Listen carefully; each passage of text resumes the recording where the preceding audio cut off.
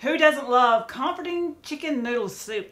Well, today we're going to take that even further and we're going to make chicken noodle soup casserole and we're going to show you how it's done. So come, Come on, on in. Welcome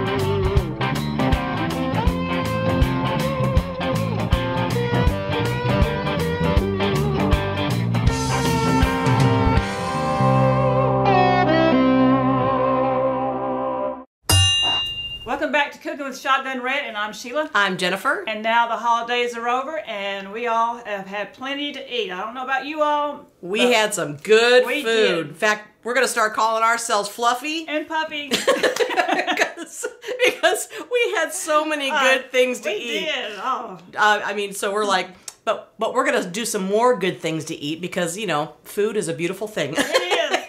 It is. we It like has- to make It it. has been around here, hasn't It it? has been so. Here and in Alabama. And this is true comfort food you Yes, are gonna is. love.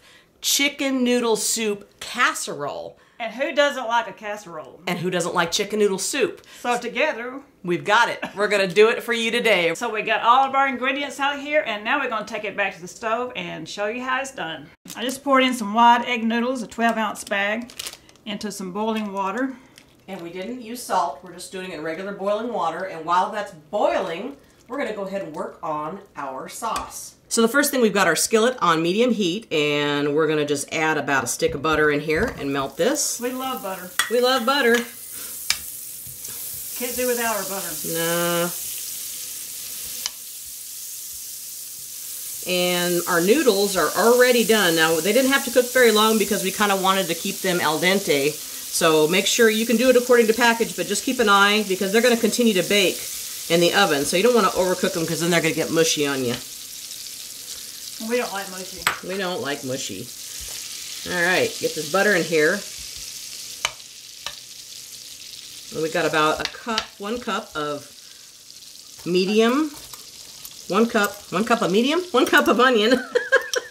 I can't talk today. You know, it's the first show back, guys, this year, and my my mouth is not connecting with my brain. It hadn't connected to 2021 yet, has it? Uh-uh. And then we've got a half a cup of some diced up Celery. celery. Because you can't have chicken noodle soup without celery. Mm-hmm. We love our celery too. But you don't want it to overpower it because celery can be very, you know, like overpowering sometimes. So I just did the half cup. So you just want these to saute up until they get tender. And once they get soft and tender here, we're going to add in Some more ingredients. some more stuff. some more yummy stuff. Some more yummy stuff. Like garlic. Oh, Minced yeah. garlic. We've got this is this this is cooking fast today. It's amazing. On different days, it feels like this cooks a little quicker than others. So this is three tablespoons of minced garlic because I love garlic. It makes everything better. Maybe that's the Italian in me. I love garlic. I like garlic bread. Mm. Now remember, this is going to continue to cook in the oven, so it doesn't have to be well done, just soft. So now that we've got our garlic in there, we're going to add about a quarter cup of flour. This is a half cup in here, but I'm only going to add about a quarter cup. And we're going to whisk that up. And this is going to help this all thicken up here when we add our other ingredients. You want to just cook that flour for a minute or two, just till the flour's cooked. Doesn't that smell good? It does. It smells so good. The flavors are coming out. Television. Mm -hmm. Once that flour is cooked, we're going to go ahead and add in two cups of chicken broth.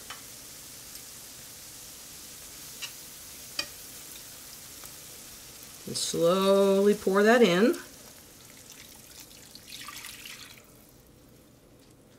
Okay, guys, I realized that we were talking about this earlier, and I was going to change out to the bigger skillet, and I just it just slipped my mind. Like I said, my brain isn't quite connecting today. Yeah, so Fluffy and Puppy is changing to a bigger skillet now. Yeah. All right. So now that we're in the bigger skillet, we can add More ingredients? More ingredients. Yeah, because we're going to add some stuff now. You can see it already thickening up. And I'm going to add in two cups of whole milk in with our chicken broth. We got some vitamin D going on here. That's right. Mom's like, I think you're going to need a bigger skillet. I said, you know, you're right. Like I said, first show back where we started filming today and we're just not all here, are we, Uh, Sheila? no, we're not. So we're gonna add a little bit of salt and pepper, about a quarter teaspoon, and I'm just, I'm not even measuring that because I'm Guesstimating. I'm guesstimating. I'm doing what I do. It's really up to you. You could add a little bit more if you'd like more, but I always guesstimated when I turned the stove on it. I didn't know whether I turned it on. Sheila's always one big estimate.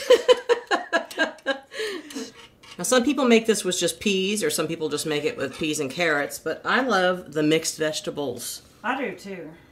It's very colorful. I, I just love mixed vegetables, and so this is two cups of mixed vegetables. I'm gonna get all that out of there too. All of it. And it's quicker too when you got mixed instead of having to do each individually one. and we've got two cups of chicken. Now we just we just got a, had rotisserie chicken, and so we had leftovers. So we're just using our rotisserie chicken. You can use canned chicken. You can boil your own chicken, um, whichever you like to do. Um, but this just makes it easy. You know, we love to do that rotisserie chicken at Kroger there, and yum yum. And then the final ingredient that we add in, we're gonna turn off the heat, and we're gonna pour in Uh-oh, our cheddar. Uh-oh, did you find one missing? right there. Get it. It's in. It's in there. It, you didn't do it. It what do you mean I didn't do it? It flew away. No, it didn't. No. Okay, so our final ingredient is our cheddar cheese. And we always love to use sharp cheddar cheese. And so we're gonna sprinkle that in here and stir this in. And should be about two cups. So this is one cup here. I'm just gonna stir this in and add another cup. And it's the, the heat is off. So while this is hot, it's getting now it's turning into a nice full pan. Yeah, I don't think this would have fit in the other one. that, that would have been a mom would have been over there laughing at us. I'm gonna add a little bit more of this and we're gonna leave a little bit just to sprinkle on the very, very top. We're gonna take you back and show you how we put this together. So now we got our noodles in a number 13 grease baking dish. And we're gonna pour this delicious mixture. I'm gonna give you that spoon right there. Right. Right over the top of it. Oh, this looks good. Look at that. May even need a bigger dish. Uh-oh. Gotta go over the side there, Sheila. Got it, got it, Right got it, got it, got it. Catch it, catch it, catch it. Might need a little bit more. Mmm, get that little last section This is a real full meal here. It is. It looks delicious. All right, so now that we've got this delicious topping all Yes. into these noodles, we're gonna add the rest that we held aside of our shredded cheddar cheese, and we're just gonna sprinkle that evenly right over the top. Mmm. Looking Mmm. good. Cheesy chicken noodle soup casserole. Yum. And this would be our first meal that we have to eat. And it's going to be like, hurry up, No, this is not our first meal. well, today. Definitely not our first meal, but, but the first meal today. First meal today. Okay. We're waiting for it. Mm-hmm. Mm-mm. Now we, we've got our oven preheated to 400 degrees, so it's getting ready to go. And then we took just a tube of your Ritz crackers, which is about a cup, and we added about a quarter cup of Parmesan, grated Parmesan cheese in that, mixed it all up, crushed it all together, and we're gonna lightly sprinkle that right over the top evenly. Yum. Very much. So how long do you say this takes to bake? It only takes about 15 to 20 minutes in there, so That's That's- good because I'm ready for it. she's like, hurry up, I'm hungry. I'm always ready for it. Every time we get, because all these recipes have been so good. It's it's gonna be delicious, and I love butter crackers on top of like casseroles like this. You know, they always say never go to the grocery store hungry. Never. We always cook hungry. and we go to the grocery store hungry, so it's like a double whammy. I'm just dump Just, the rest. just dump the rest on in there. Yum. So then, once that's on there, we're gonna take uh, about a half a stick of melted butter, and we're just gonna lightly drizzle this right over the top of our butter crackers. Butter on butter, I love butter. because this is gonna make them turn a nice golden brown. You just wanna do that slowly. You don't have to go crazy. Sheila would be like, dump that thing on it. Get some more butter. Yeah, dump that on there. Get That's some more butter, would you? Dump it on there and get it in the oven.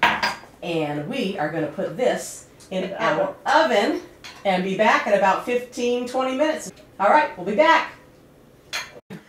Yum, this looks so good. Oh my gosh, it was in there for 15 minutes and look, it's all golden brown on top. It's a perfect size. It's perfect. It looks like the perfect casserole and it smells so good. Are you ready to dig in? I am ready, girl. All right, let's do this.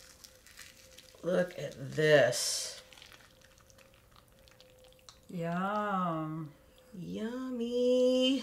All right, I got my bowl. I know. All right, we're gonna try it. Look at all Ready? that crunchy yumminess on there. Ah, ready? Ready. Mmm. Mmm.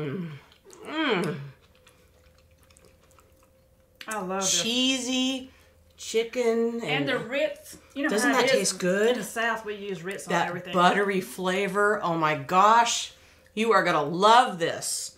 Yum. Hmm. Okay, I'm gonna go and eat.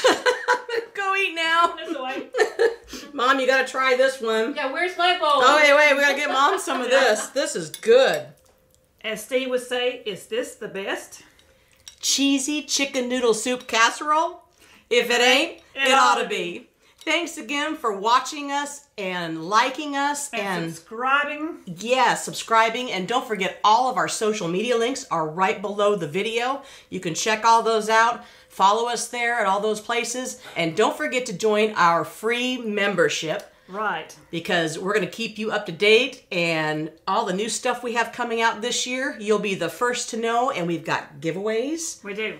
And in fact, our next giveaway is coming up, so you'll want to check that out and visit shotgunred.com because we have all kinds of goodies there. A lot of goodies. So visit our website and don't forget the brand new cookbook, Cooking with Shotgun Red, Volume 1, and we are working on Volume 2. So you'll find all those links right below this video, and we will see you next time right here on Cooking with Shotgun Red. Bye! Now, Okay, I- I'm gonna eat now. Mom, you gotta get some. Yum! Well, that's Shishi and Jen Jen, them two girls having too much fun. We hope you enjoy this recipe, and we really hope you subscribe to our channel. That's easy. Little Shotgun Red's face will pop up over here in a little bit. When you click on it, it'll say subscribe, then you're subscribed. Next to it will be a little notification bell.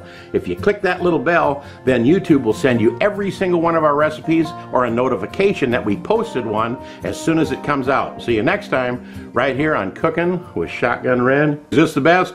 If it ain't, it ought to be.